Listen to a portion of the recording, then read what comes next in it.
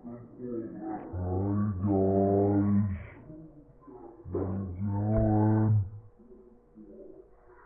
I'm crazy.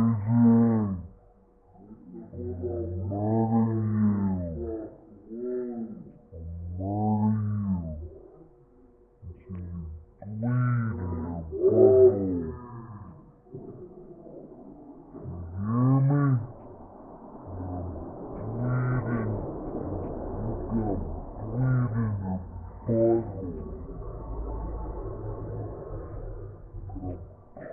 you right here. Fucking butthole making blue.